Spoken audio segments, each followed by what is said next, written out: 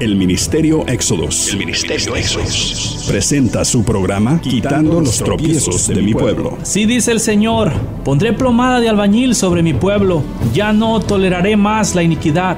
Los lavaré como se lava un plato y se voltea hacia abajo, porque todo el día He extendido mis brazos a un pueblo rebelde, que con sus labios me honra, pero su corazón está lejos de mí, que dice que me ama, pero no me abre las puertas de su corazón. Me dice Señor, pero no hace mi voluntad, sino la suya propia. Arrepentíos y convertíos a mí, y yo sanaré vuestra tierra. Enderezad mis caminos, haced derechas mis sendas, allanad, allanad Quitad los tropiezos de mi pueblo. Ahora con ustedes su programa, Quitando los tropiezos de mi pueblo.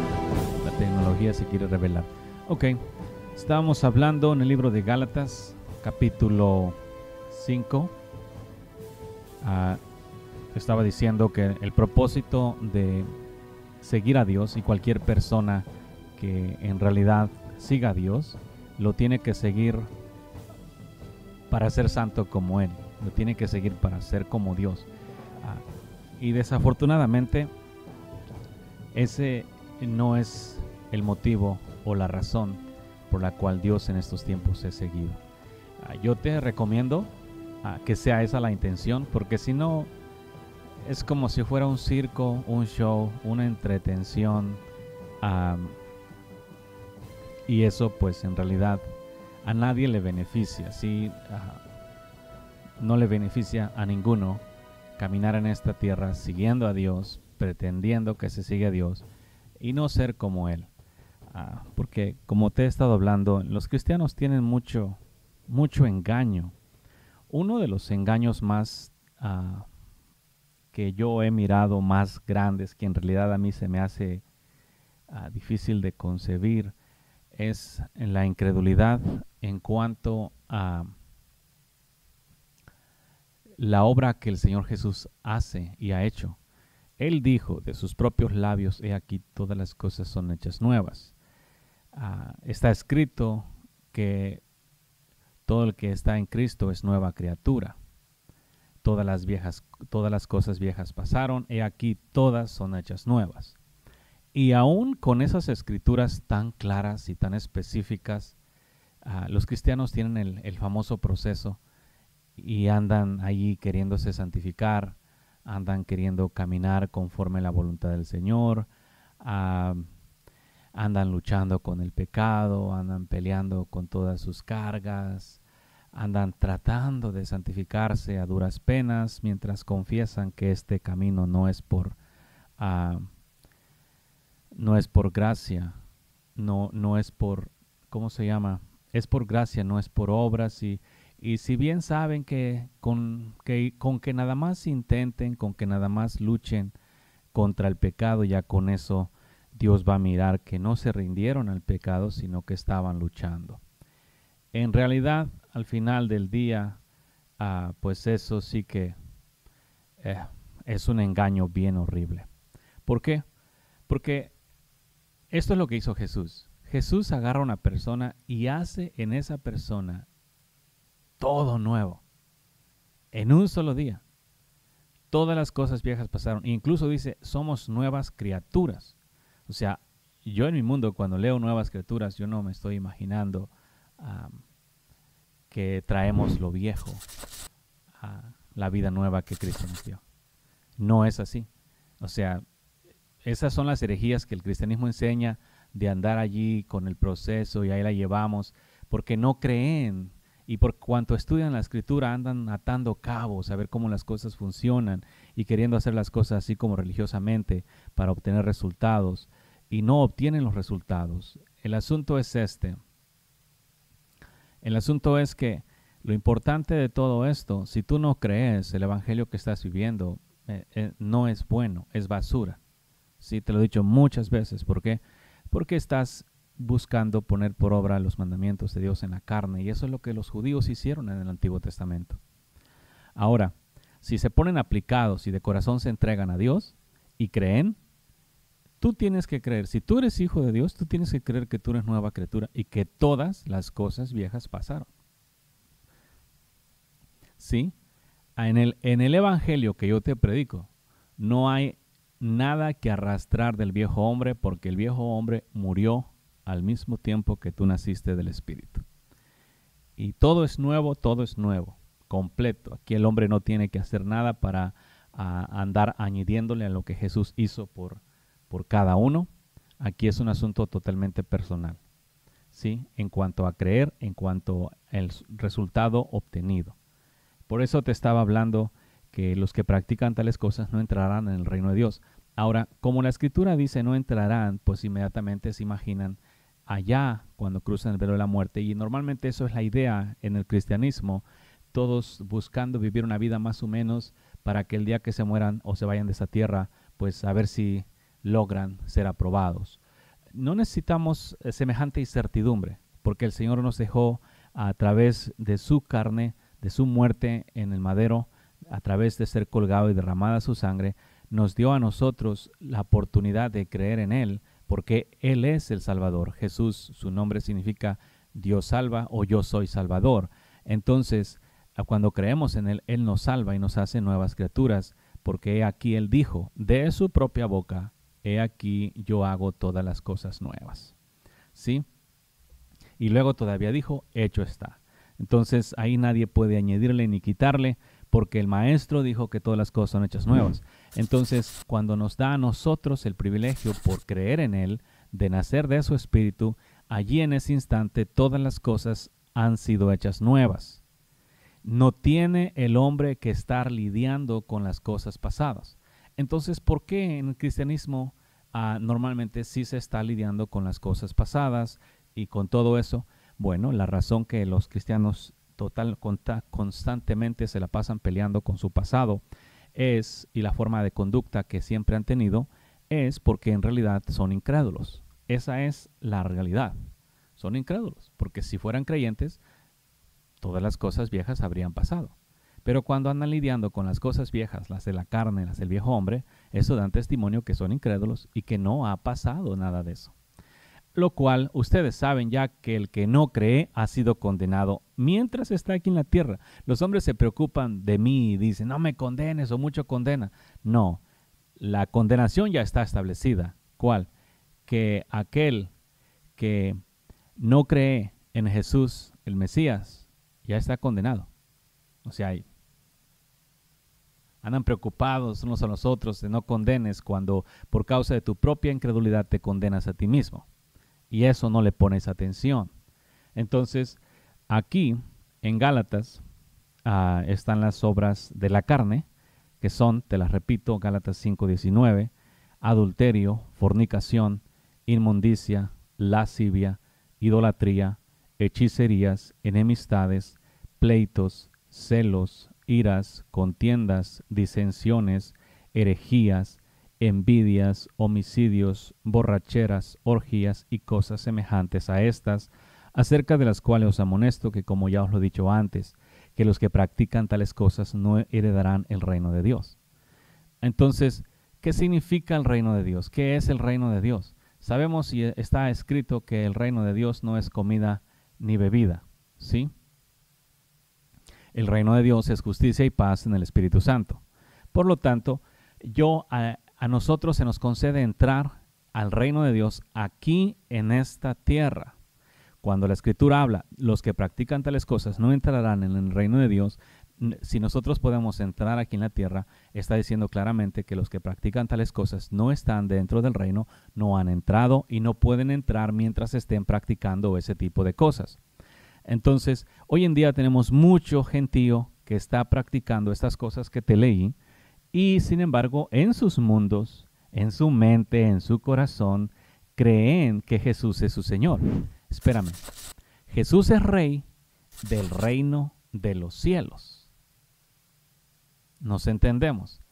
Lógico que es rey de todo el paquete acá afuera, pero donde Él gobierna a la perfección es en el reino de los cielos, porque ahí nada se le revela, nada está torcido, nada está oscuro, nada chueco, Ahí todo es perfectamente a la voluntad del Señor.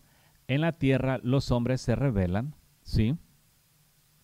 Y aunque Dios es Señor y Rey de aún toda la tierra, de todos los hombres que están en la tierra, los hombres no están sujetos. Dios es Rey, pero el, el gentío son un pueblo rebelde, aunque él es rey. Cuando nosotros entramos al reino de los cielos, ahora somos un pueblo obediente, apegado, sujetos a nuestro rey. ¿Sí ven la diferencia? Entonces, la, diferencia aquí no es a las religiones que pertenecen, sino la sumisión y sujeción a Jesús de Nazaret, el Mesías. ¿Sí?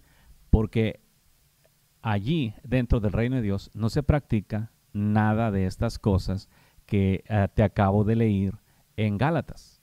Entonces, eso da un claro testimonio, pueblo, que todo aquel que está practicando estas cosas no está dentro del reino, no ha entrado. Otra vez, tú puedes estar completamente seguro que estás en el reino, no has entrado. Tú puedes asegurar que Jesús es tu Señor, que Dios es tu Señor, que recibiste a Jesús y que aceptaste a Jesús y todo eso. Ah, no has entrado. ¿Por qué? Porque los hombres que hoy en día aceptan a Jesús o reciben a Jesús se andan tratando de purificar poco a poquito, ahí la van llevando, van dejando un pecado, luego dejan otros si está, no está tan difícil. Hay otros más difíciles, los cuales los pasan tumbando a cada rato, pero ya entre comillas en sus mundos ya están en Dios, porque los pastores, los líderes, los que se encargan de enseñarles, les plantaron esa herejía en su mente y en su corazón y les hicieron creer que mientras entren, y, se conviertan y les cambiaron la oración de fe por el nacer del Espíritu, les cambiaron el proceso, por aquí todas las cosas son hechas nuevas. Ah, entonces, por eso es que batallan con todo eso y es la forma de vida que están viviendo, porque les enseñaron herejías y les, ah, les guiaron en ese camino hereje y así lo están viviendo. Les pusieron un proceso cuando no es proceso. ¿Por qué les ponen los hombres proceso? Porque aquí en la carne las cosas, cualquier gente que quiera superarse o aprender alguna arte o, una ah, maestría en cualquier cosa, en realidad está ah, en un proceso de aprender. Y eh, eh, porque vieron las cosas en su propia carne, entonces acomodaron lo carnal a lo espiritual y ahí sacaron que el camino es un proceso. Mi Dios dijo, aquí todas las cosas son hechas nuevas. Ah, no tendrían, no tendría ningún cristiano que estar batallando con el mundo, el diablo, la carne, el viejo hombre, la muerte, nada de eso. Tendría que vivir una vida totalmente pacífica, porque el reino de los cielos es paz, ¿sí? En el Espíritu Santo. no es nada de como el cristianismo se vive hoy en día. Te digo estas cosas para que entiendas bien ah, la forma en la que has estado caminando y las cosas que has estado creyendo. Porque si tú no crees en Dios, tú no vas a obtener resultados de Dios. Santiago lo dijo de esta manera, si no mal recuerdo fue Santiago, ah, no piense el hombre de doble ánimo que recibirá cosa alguna de Dios.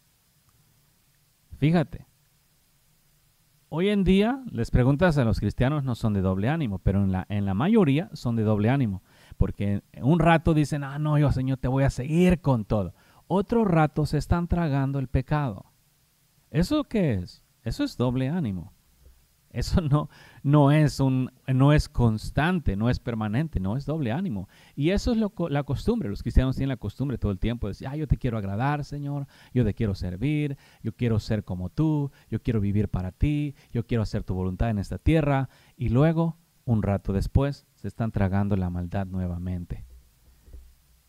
Sí, y piensan que Dios no ve eso. Ay, Señor, es que yo fui débil. No, es que eres inconstante, es que eres incrédulo y por esa razón no eres permanente en la fe ni tampoco en el resultado. ¿Sí?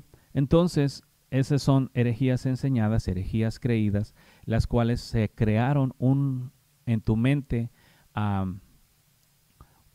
rudimentos, que, fortalezas, que cuando te hablan la verdad no crees, porque ya estás fortalecido en tu mente a una idea, opinión, punto de vista o versículos bíblicos mal interpretados. Te repito, la palabra de Dios, la suma de la palabra de Dios es la verdad.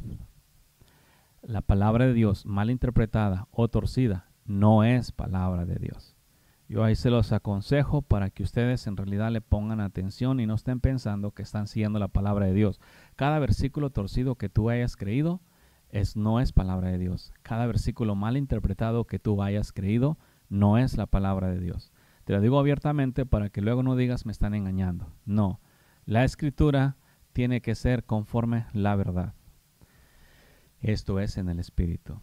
Entonces, estaba ayer exponiéndote los, lo que significan todas esas cosas. Ah, nos quedamos en orgías.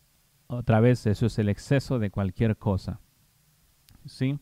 Para que cada uno vea lo que realmente está haciendo.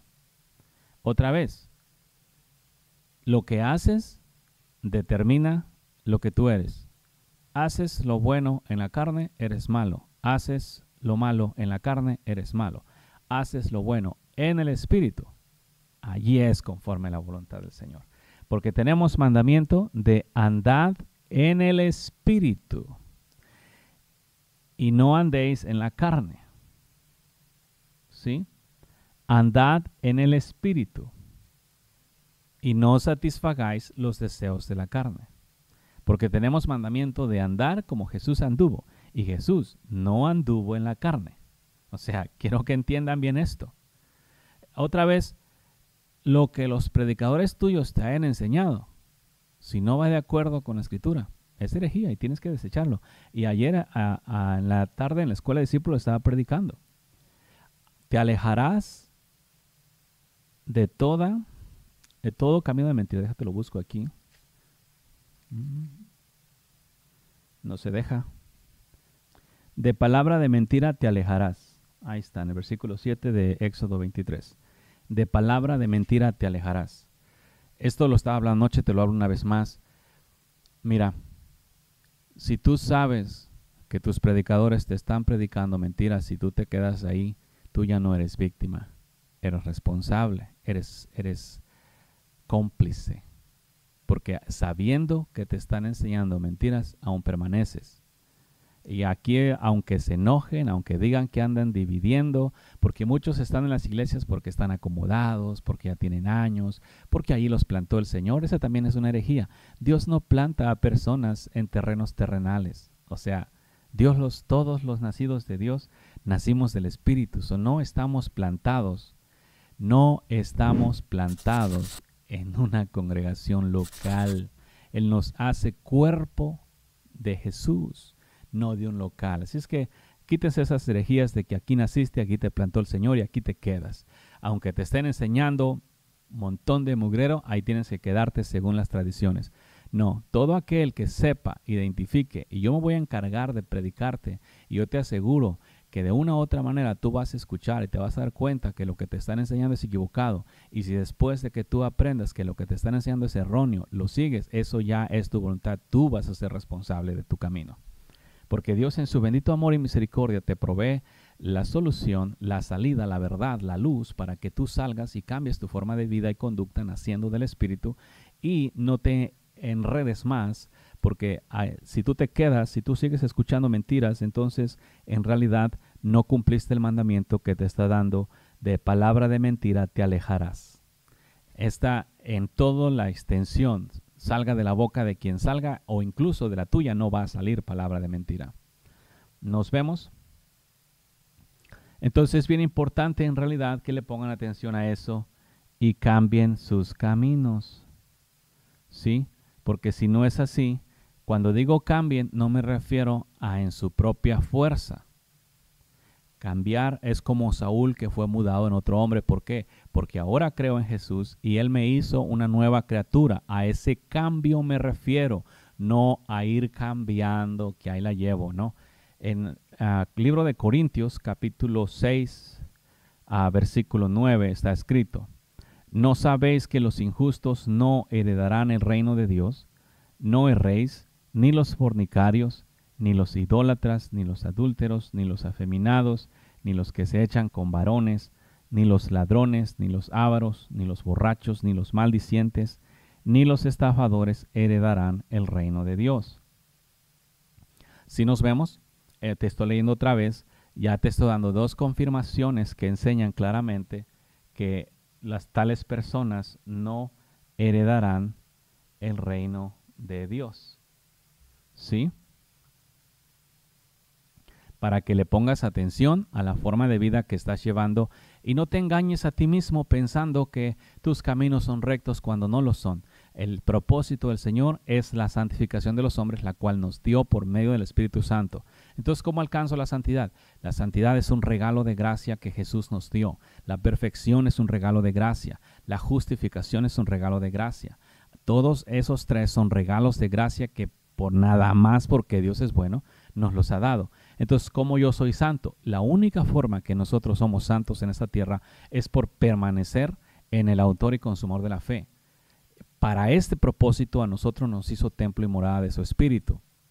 Entonces, nosotros entiéndanlo bien. Fuimos llamados a ser templo y morada del espíritu, santificados, casas para que el, el Padre viniese a habitar ahí y ahí permanecemos y después de ahí el Señor va haciendo todas las cosas que tiene que hacer y nosotros estamos en reposo. La religión ha eliminado eso. La religión no promueve el estar en Jesús. La religión simplemente te llena de actividades.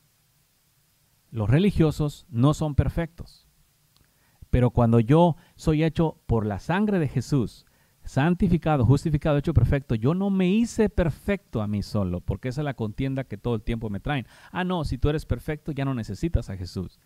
No, es que Él es quien me hizo a mí perfecto y me hizo templo y morada del Espíritu Santo y me dio el Espíritu Santo para que habitara en mí. Al quedarme y permanecer yo en Él, soy perfecto, pero no por el resultado de mis obras, sino porque Dios está en mí. Y entonces, por cuanto Dios está en mí, ah, y lo dijo Pablo y te lo digo yo también, las obras que ahora hago en la carne ya no las hago yo, sino Dios quien mora en mí hace las obras. Ahí es donde hombre me estaba diciendo el otro día, no, tú dices que Dios peca por ti. Es que los hombres tienen en su mente y en su corazón arraigada la idea de que los hombres tienen que pecar.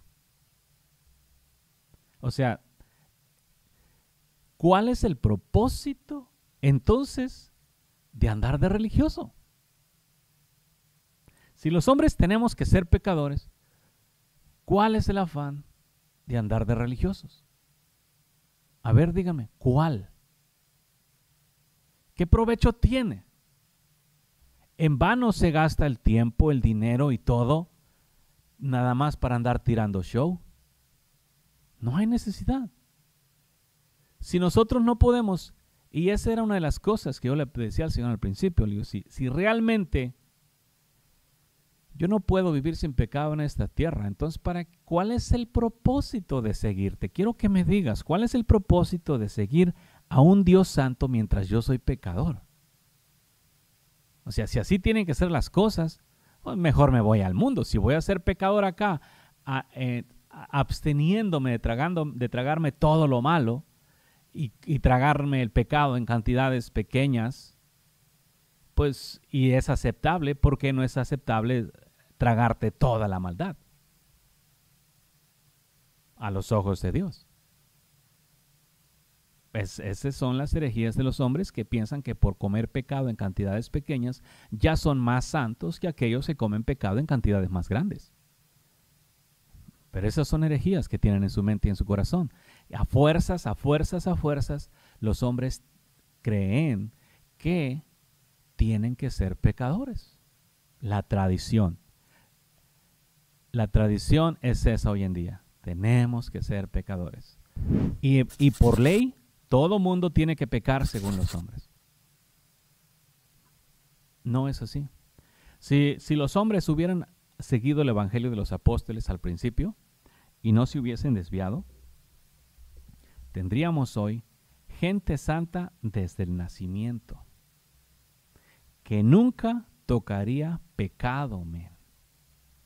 Pero pues desafortunadamente siempre hubo hipócritas y siempre se infiltraron y Pablo le tocó lidiar con ese tipo de gente en su en, el principio, en el florecimiento del Evangelio, en aquellos días cuando el Espíritu Santo apenas acababa de venir, la raza le encantaba la hipocresía, le encanta la hipocresía hasta hoy y sigue siendo hipócrita practicando maldad. Yo les digo, si no siguen a Dios para ser santos, ¿para qué lo siguen? ¿Para que los bendiga monetariamente? ¿Para que tengan una mejor vida ahora? ¿Para qué lo siguen? ¿De qué le sirve a un, a un hombre tener una vida mejor ahora y perder el reino de los cielos? ¿De qué le sirve a un hombre tener todas las riquezas y estar bien bendecido, como dicen ustedes, en la tierra con cosas materiales y al final terminar en el infierno? O sea, si ven que se han perdido el punto principal en el, en el asunto de seguir a Dios. A Dios no se le sigue por ninguna otra cosa más que por amor a la santidad. Solamente, es todo. ¿Sí? Te explico otros de los que están acá en Corintios. Para que veas. O sea, y esto es real. No piensen ni se agarren de ningún otro versículo acomodándose a sí mismos para siendo pecadores entrar al reino de los cielos. La palabra ya está escrita. Por lo tanto, los injustos, como dice ahí, no heredarán el reino de Dios. Por eso es que hoy en día hay mucha gente que cree que está en el reino, pero no está en el reino, porque son injustos.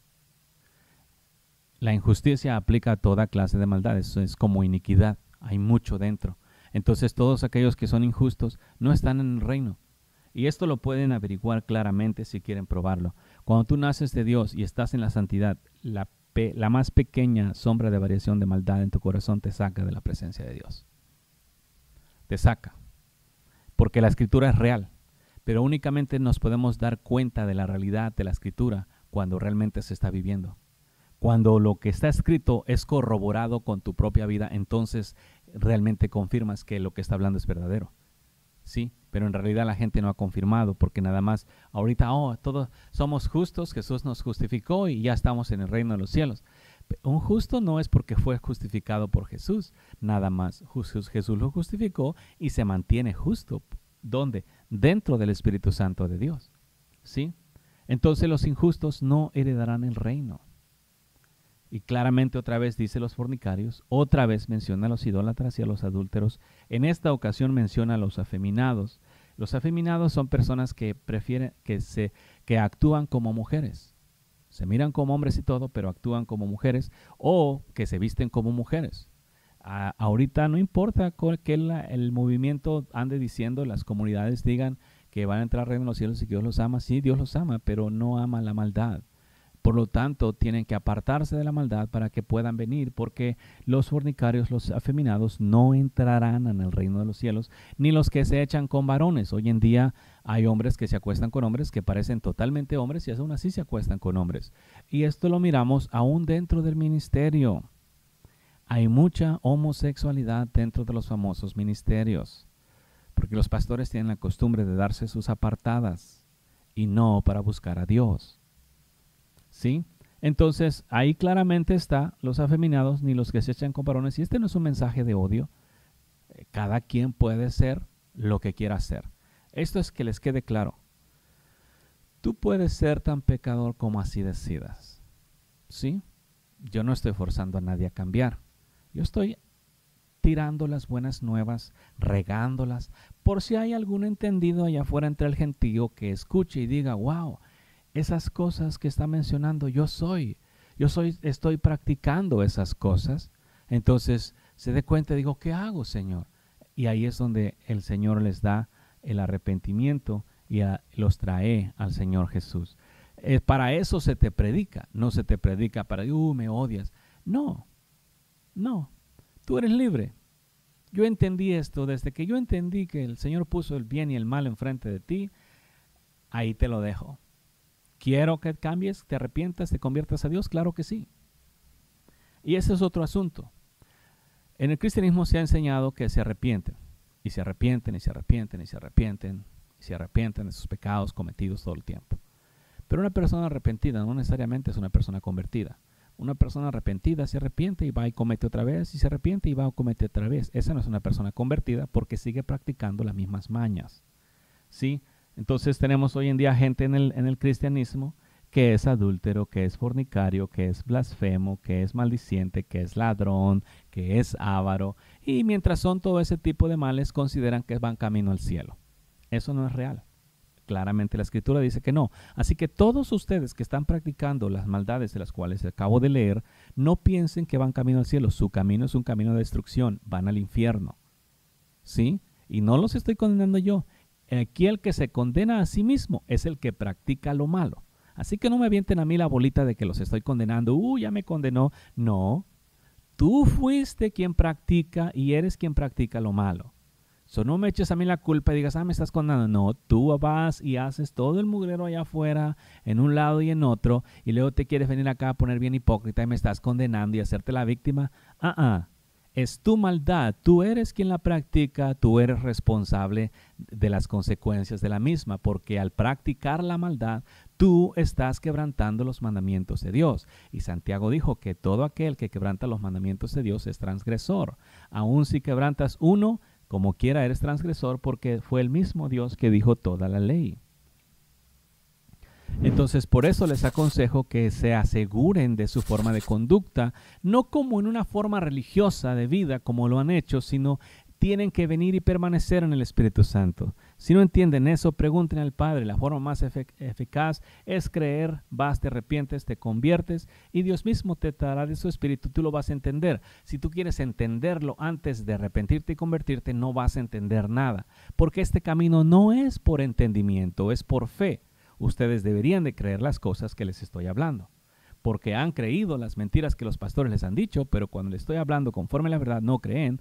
¿Y por qué razón se rehusan a creer? Porque se sienten condenados, porque sienten que van camino al cielo, porque se les deja saber que son malhechores, por todo este tipo de cosas se les se rehusan a creer porque otra persona viene y les dice, no, tú estás bien, tú vas camino al cielo, tú aceptaste a Jesús, tú recibiste a Jesús, eh, no, y el Señor es tu papá y todo eso. Entonces ya de esa manera se uh, entregan a vivir una vida pecaminosa porque alguien más les da un consejo equivocado. Y en la escritura tenemos muchos testimonios de personas que recibieron consejo equivocado y les fue mal por recibir consejo equivocado. Aquí te digo, no importa quién diga diferente, los afeminados, los que se echan con varones, no van a entrar al reino de los cielos. Los ladrones no van a entrar al reino de los cielos. Los ladrones no están en el reino de los cielos. So, si tú miras personas que roban, en esta tierra a las personas por la fuerza o en diferentes engaños con forma de hurto, al final del día no están en el reino de los cielos. Nadie, ahorita lo, hemos mirado mucho en el asunto del dinero con los diezmos y las ofrendas y las primicias que los predicadores exigen y demandan de las personas simplemente para enriquecerse a sí mismos. A Dios están robando. El diezmo es de Dios. Dios dijo en un momento dado, vosotros me habéis robado. ¿A quién dijo? Al pueblo, vosotros me habéis robado. ¿A quién robaron? A Dios. Los diezmos no son de los pastores. O todos los pastores que se tragan los diezmos a Dios están robando. Son ladrones. Ah, no, pero no le pongas bocar al buey, al buey que tría. Sí. Fíjate, funciona de esta manera. Si Dios dice que los diezmos son de Él, yo los uso para Él. Y se los doy. Ta. Entonces, ¿qué pasa con mi vida? ¿Qué voy a vivir? Dios es mi proveedor. Él me proveerá conforme a sus riquezas en gloria. Pero no voy a tocar los diezmos, porque los diezmos son de Dios. Las primicias, los diezmos y las ofrendas son de Dios, no de los hombres. ¿Sí? Los entendemos. Y es bien importante que lo apliquen de esa manera porque si no le están robando a Dios. Si Dios me va a mantener, Él me va a proveer de lo que tenga que proveerme según sus riquezas en los cielos pero no es mío el agarrar de lo que es de Dios. Si nos vemos, véanlo claro. Por eso es que les he dicho muchas veces, no es trabajo de los hombres andar demandando dinero de, las personas. Todo el que pide dinero es, ¿qué es? Santo. El que pide santidad es santo. El que pide dinero es avaro. Para aclarar las cosas bien claras. Luego siguen los ávaros, Ávaro es una persona que, pues, en cierta manera no está satisfecha de lo que ha tenido, quiere más, quiere más y busca obtener y lo obtiene por medio de robos, hurtos, engaños y de la manera que lo haga consigue las cosas. Esos son ávaros. Ellos no entrarán todos. Por eso el maestro claramente dijo, cuán difícil es que un, para un rico que entre al reino de los cielos. Es más fácil pasar a un camello por el ojo de una aguja a que los ricos entren al reino de los cielos. ¿Por qué? Ya después se aclaró cuán difícil es para los que aman las riquezas entrar al reino de los cielos. Un avaro es un amador de riquezas. El, de hecho, te lo voy a poner claro para que lo entiendas. El buscar el dinero con la simple intención, el trabajar, poner negocios o lo que sea, con la simple intención de hacerte rico, eso es amor a las riquezas. Entiéndanlo bien.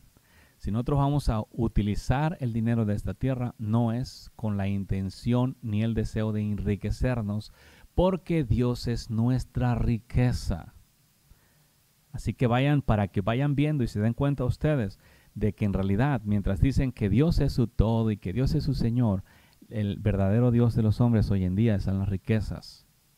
Dentro del Evangelio ni se dígame, porque el Evangelio de hecho, han hecho creer a los hombres que los que están bendecidos económicamente son los que viven agradablemente a Dios. No.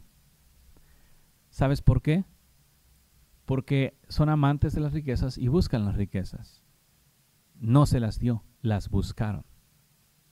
Una cosa es que Dios te dé para tu diario vivir. Yo te lo digo por experiencia, porque he ejercido la fe por un largo tiempo y yo pensaba que, bueno, ya la ejercí por un tiempo, ya no tengo que ejercerla porque ya la ejercí.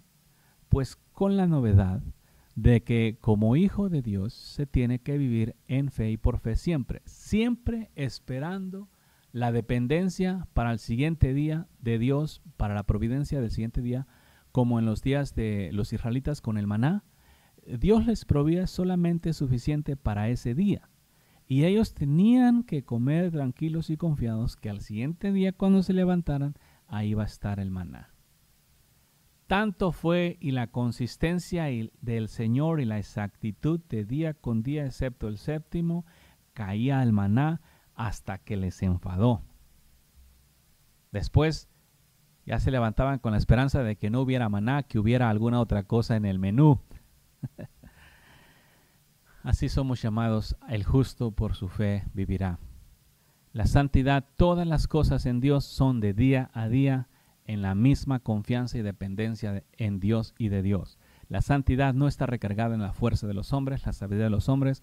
La santidad está recargada en la fe de que el hombre permanece en Dios todos los días. Y de Dios te pueden sacar con la más mínima incredulidad. Chiquitita, te sacan de ahí.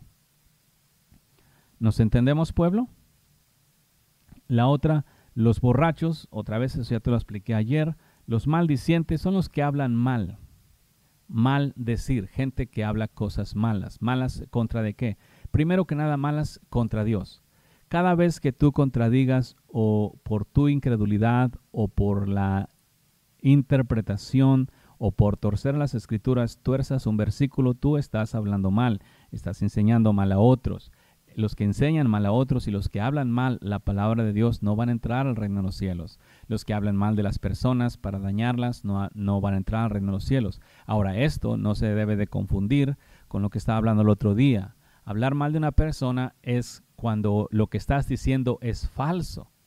Pero si una persona es mala y te preguntan y das testimonio de su maldad, no es no estás hablando mal, eso es lo que hizo. ¿Sí? So, no se confundan. Hablar mal es hablar con la intención, es hablar mentiras con la intención de dañar a un prójimo, pero siempre son mentiras. ¿Sí? Hablar mal más que nada es que son mentiras, pero si es verdad y estás hablando, no es mentira. A, eso fue como les dije, si quieren que hablen bien de ustedes, mínimo hagan lo correcto, ¿no? Y de esa manera la gente no va a tener cosas ah, malas que hablar. Y si habla mal, pues ya es pecado de ellos, no tuyo. Si nos entendemos, pueblo. Entonces los que son maldicientes, esos son los que dicen mentiras, los que dicen uh, insultos en alguna manera, a estos en realidad no están dentro del reino de los cielos. Ahora, repito, el reino de los cielos se entra en esta tierra. Aquí en esta tierra es donde se entra al reino de los cielos, donde se permanece en el reino de los cielos. Aquí aprendemos a quedarnos dentro del reino de los cielos por amor a Dios. eso es lo maravilloso de un pueblo contumaz y rebelde y luego por el Espíritu es sujetado por amor a Dios, se sujeta a Dios voluntariamente. Aquí nada de que, ay, el Espíritu te está agarrando y no te deja salir. No, el Espíritu no presiona a nadie ni encarcela a ninguno porque entonces no sería una relación voluntaria, sería una esclavitud a tipo el maligno. Entonces entiendan y vean que nosotros entramos al reino de la tierra y por eso es que les he hablado de la santidad, porque por cuanto estamos bajo el reino de Dios y el reino de Dios es justicia y paz, por ley los que están dentro del reino de Dios tenemos por ley a vivir en santidad todos los días. Aquí no hay excepciones. ¿Puedo salirme? Claro que sí. Porque la gente me dice, no, ya no puede pecar. No, yo puedo pecar. Hoy, en cuanto acabe de predicar, puedo irme. ¿Sí? Puedo irme a cual, puedo a emborracharme, puedo ir a buscar prostitutas, puedo ir a hacerle mal a cualquier persona. Porque soy libre de hacer lo bueno o lo malo. Ya no, no puedes. No, sí puedo. Puedo perfectamente hacerlo. ¿Sí? Mi estadía en la santidad es porque es el lugar donde yo he elegido habitar, no es porque estoy obligado a habitar. ¿Sí ves? Yo no voy a hacer lo malo, yo puedo hacer lo malo como cualquier pecador. Puedo convertirme en un sicario de un día para otro. Puedo ser un usurpador, un ladrón, violador, asesino de un día para otro. Puedo hacer cualquier cualquiera de esas cosas, como cualquier otra persona en la tierra. Pero esto es lo maravilloso del Evangelio que te predico, que cuando realmente estás en Dios y vienes a Dios, ya no te vas porque, uy, ¿qué, va a ser el malo de allá? No, yo no me voy de aquí porque yo amo a mi Padre. Sí, yo no le hago como el hijo pródigo, no me voy porque allá afuera quiero ir a disfrutar mi herencia, no, mejor me quedo contigo y disfruto mi herencia contigo. disfruto porque tú eres mi herencia. Entonces estamos hablando de amor real, amor voluntario. Ya no estamos hablando de las reglas religiosas, porque los, religiosos son como, como perros amarrados, men. lo más los sueltas y ah, se van a hacer maldad. No, el Señor puso la mesa enfrente de nosotros. Pablo habla de esta grande libertad, de, de cómo los religiosos en sus días venían a explorar la libertad en la que él vivía. A ver qué hubo. Porque es, es una libertad bien rica. Nadie, no hay nada malo en la tierra que alguien me lo esté quitando o que no me lo quieran dar. No, yo puedo agarrar cualquier cosa. Decido, por amor a aquel en el cual habito, no agarrar nada. Ahora, eso es habitar en el reino de los cielos, en el reino del Espíritu Santo y bajo el Espíritu Santo mismo. Y ya no es un asunto carnal, ya no es esfuerzos carnales, es, es únicamente amor. Ya no tengo que esforzarme a nada porque amo completamente. Entonces, ah, de esa manera, el Evangelio es, como te lo he predicado, bien rico.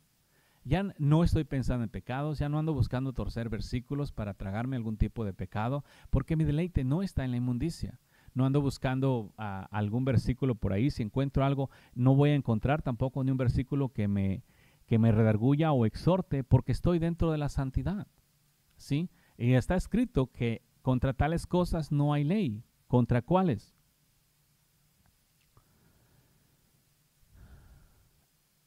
Contra ah, el amor, el gozo, la paz, la paciencia, la benignidad, la bondad y la fe, la mansedumbre y la templanza. Ahora, por eso está escrito para que para los que están en el Mesías no hay condenación. ¿Por qué no hay condenación? Porque al estar en el Mesías, el amor es pleno, el, gozo es pleno, la paz es plena, la paciencia es plena, la benignidad es plena, la bondad es, plena, la, fe es plena, la mansedumbre es plena, la templanza es plena. Ahí todo es pleno en el Espíritu Santo. Y no hay ley ahí porque no hay, no estás haciendo nada erróneo, ni vas a hacer, ni tienes deseos. Es lo que más me encanta de hacer lo malo. Ahora, fíjate, por versículo 24 de Gálatas 5, pero los que son de Cristo, los que son del Mesías, han crucificado la carne con sus pasiones y deseos. Ahora, eso es literal. Crucificar es como Jesús murió, así la carne muere. Los que son de Cristo han crucificado. Entonces ustedes, la mayoría, se, darán cuenta que si todavía andan en los deleites de la carne, no han crucificado su carne. Por lo tanto, aún no son de Jesús. O eran de Jesús si se volvieron a esclavizar a el pecado que tienes que hacer? Regresar a tu primer amor. ¿Sí? Aquí, cuando naces del Espíritu primero, ahí es donde tienes que permanecer. Si te sales, tienes que regresar otra vez a tu primer amor. Aquí no hay, no hay nada de, ah, vamos a ayudar en el proceso de restauración, porque una persona es restaurada en el instante que se arrepiente. No se tiene que andar restaurando todas esas cosas que los hombres han inventado, restaurar, vamos no, simplemente cuando vienes a Dios, si, te, si, te, si estabas en Él y te fuiste, vuelves a ser restaurado en un momento que te arrepientas y te conviertas a tus malos caminos. Por, por eso está escrito, versículo 24, pero los que son del Mesías, del ungido, han crucificado la carne con sus pasiones y deseos. Y te voy a decir, como cristianos, lo que más batallan con son exactamente las pasiones y los deseos. Eso es exactamente que siempre están batallando con las pasiones y los deseos. Siempre. Arreglen su fe.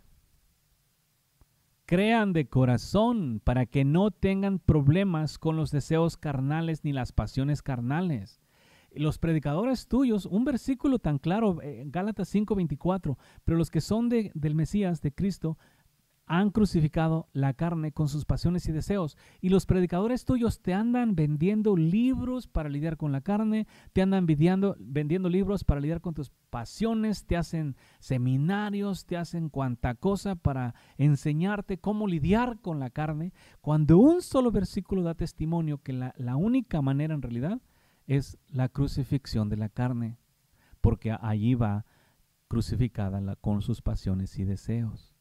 La carne no la pueden crucificar sola. Todos ustedes que están hablando que crucificaron la carne, pero todavía tienen deseos carnales y pasiones carnales, se engañaron. Tú no puedes crucificar la carne sin sus pasiones y deseos, porque la carne en sí son pasiones y deseos. Ahora, versículo 25. Si vivimos por el Espíritu, ¿por qué vivimos nosotros? El Espíritu es vida. Cuando el Espíritu Santo de Dios viene a nosotros, nos da vida. Ahora, si por Él vivimos, ahora también, como dice claramente, andemos también por el Espíritu. So, la vida aquí es clara. Naces del Espíritu y andas en el Espíritu. Aquí no hay carne en ninguna manera. Por eso se los pongo claro. Y si no lo entienden, no te preocupes. Arrepiéntete, conviértete de tus malos caminos Hazme caso, créeme. Todas estas cosas vayan y leanlas en Gálatas y en Corintios y dense ustedes cuentas, vean qué cosas estás practicando y ustedes mismos pueden mirar, dense la tarea, qué cosas son las cosas que Dios aborrece. Proverbios habla de muchas cosas y las vamos a ver también, eh, que enseñan claramente las cosas que Dios aborrece y eso lógico, si Dios las aborrece no los va a permitir entrar al reino de los cielos. Entonces quiero que estén bien, bien despiertos al respecto y, que no estén ahí como esperando, tal vez haya una oportunidad o algo. No, es, que tienen que asegurarse. Dios para eso nos dejó la escritura, para que nosotros supiéramos abiertamente en nuestra propia lengua y en, en blanco y negro, para que viéramos en realidad las cosas como tienen que ser. O sea, el propósito aquí del final del día es que vivas en santidad. Eso es lo mío para ti. Que vivas en santidad y no en tu fuerza no en tu religión, no nada. No. La santidad es un regalo de gracia. Guárdala. La perfección es un regalo de gracia. Guárdalo. La justificación es un regalo de gracia. Guárdalo también. Porque si no haces eso, no estás en nada. Me gusta, el maestro dijo, fuera de mí nada sois. Fuera de mí nada puedes hacer. ¿Sí? Él dijo, si alguno oye mi voz, entraré en él, cenaré con él y él conmigo. So Jesús quiere habitar en tu templo, ¿sí? Quiere habitar en tu cuerpo, quiere realmente vivir la vida por ti en esta tierra para que tú tengas un absoluto reposo. ¿Sí? Y de esa manera es la protección que Él nos da a nosotros, que al venir a vivir en nuestro cuerpo, Él es quien hace todas las cosas, entonces ya nosotros no hacemos nada, estamos en un total reposo y Él va haciendo todo lo recto. Esa es la rica protección y garantía de que jamás vuelves a pecar. Y habrán tenido experiencia que una vez que te sales de allí y metes las manos, solo para cometer errores. La paz y la gracia del Señor Jesús contigo, pueblo.